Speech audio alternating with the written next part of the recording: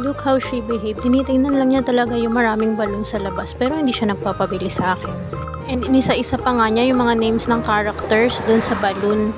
After that, sinundo na kami ni Dati tapos dumiretso muna kami sa mall. Pinapili ko siya ng hairband na gusto niya and yun una niyang napili pero mas gusto niya pala yung Mas favorite niya yata yan. And ayan, magdadrive naman daw siya ng car. Sabi niya sa akin, Mami, yung money ko.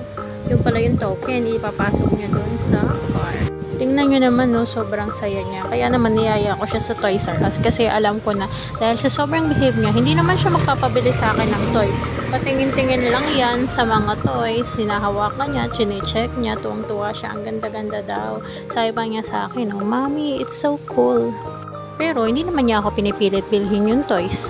And eto na, papunta kami sa section ng mga books and may coloring book. And nakita nga niya si Peppa Pig na coloring book and gustong gusto niya daw yan o. Yan o, pinapakita pa niya yung laman sa loob. Sabi niya gusto niya daw i-buy yung coloring book. So yun nga, bibilhin namin si Peppa Pig na coloring book kasi ang ganda-ganda niyang mag-color talaga. Kahit siya ay 3 years old pa lang, ah, favorite niya talaga ang coloring.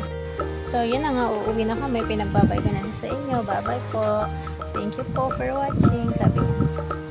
Tapos dyan, sabi niya sa akin, Mommy, thank you for buying this. Sabi ko, you're welcome. Napakabait naman talaga. Nagpapasalamat palagi.